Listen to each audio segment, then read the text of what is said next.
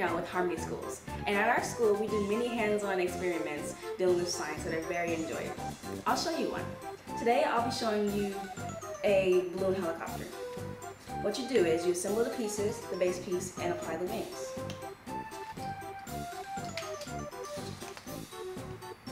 Like so.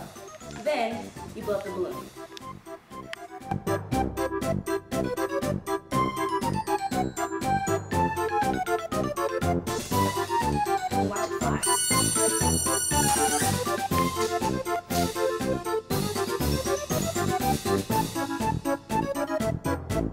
So